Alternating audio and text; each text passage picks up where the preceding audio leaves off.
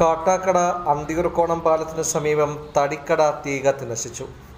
സാമൂഹ്യ വിരുദ്ധർ തീയിട്ട് നശിപ്പിച്ചതാണെന്ന് സംശയിക്കുന്നതായി കടവുടമ ശശികുമാർ പറഞ്ഞു. പെട്രോൾ ഒഴിച്ചാണ് കത്തിച്ചിരിക്കുന്നത്. ഇവിടെ കത്തിക്കാൻ ഉപയോഗിച്ചതായി സംശയിക്കുന്ന ടയറിന്റെ അവശിഷ്ടങ്ങളും കണ്ടെത്തിയിട്ടുണ്ട്. ഇന്ന് പുലർച്ചെ നാല് മണിയോടെയാണ് സംഭവം. ലോൺ എടുത്താണ് കട നടത്തിയിരുന്നതെന്ന് ശശികുമാർ പറഞ്ഞു. മുപ്പത് ലക്ഷം രൂപയിലേറെ നാശനഷ്ടമുണ്ടായതായും ഇദ്ദേഹം വ്യക്തമാക്കി. കാട്ടാക്കടയിലും പരിസര പ്രദേശങ്ങളിലും സാമൂഹ്യ വിരുദ്ധ ശല്യം രൂക്ഷമായി മാറിയിരിക്കുകയാണ്. കഴിഞ്ഞ ദിവസമാണ് കാട്ടാക്കട അഞ്ചുതെങ്ങൻമൂട്ടിൽ മത്സ്യക്കുളത്തിൽ സാമൂഹ്യ വിരുദ്ധർ വിഷം തളിച്ചത്.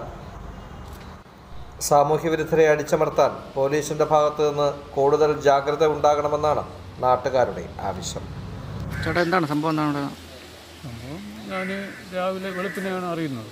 ഒരു നാല് മണിയായപ്പോൾ വി കത്തുന്നതായിട്ട് അറിഞ്ഞു അങ്ങനെ വന്ന് ഇവിടെ വന്ന് നോക്കിയപ്പം ഫുള്ള് കത്തി.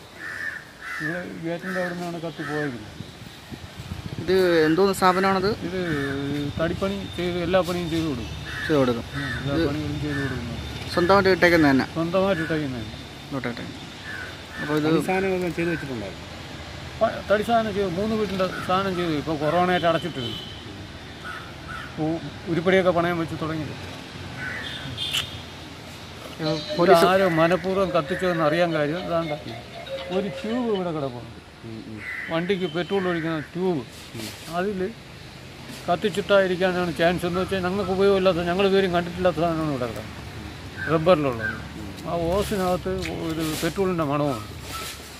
കത്തി പീസ് പീസായിട്ട് കിടക്കും. പോലീസിൽ പരാതിപ്പെട്ടില്ലായിരുന്നു? പോലീസ് പരാതിപ്പെട്ടു. അവരന്വേഷിക്കുകയാണ്. എങ്ങനെ എത്ര രൂപ നഷ്ടം വന്നെന്നുള്ളത് കണക്കാണ്? ഉദ്ദേശം നോക്കുകയാണെങ്കിൽ ഒരു മുപ്പത് ലക്ഷം രൂപയോളം നഷ്ടം പോയി കിട്ടി.